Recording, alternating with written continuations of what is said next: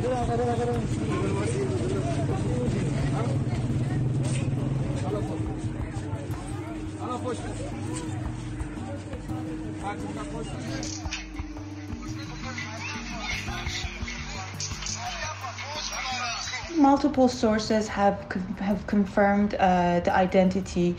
The police initially didn't disclose the name, but um, more and more, as you see, even domestic websites reporting about it, they're referring to him by his name. Police responded to a call by residents of the neighborhood um, saying that Mehrdad was causing disturbance in the neighborhood.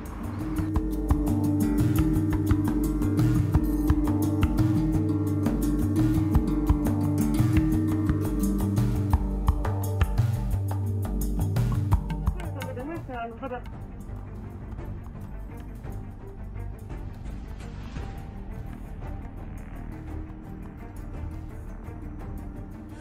Şarkının bahçe şükür.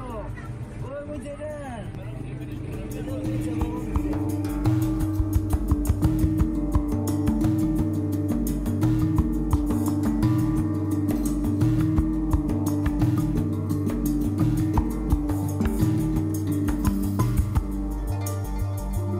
There are unconfirmed reports that family of Mehrdad was being pressured not to speak to media, and that is very much consistent with the pattern we've seen uh, over the past several years.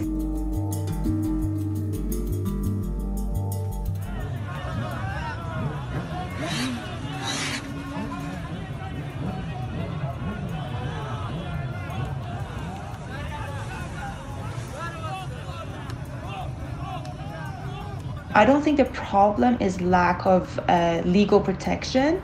It's lack of political will to enforce these laws and systematically investigate these allegations of torture in a transparent and impartial manner.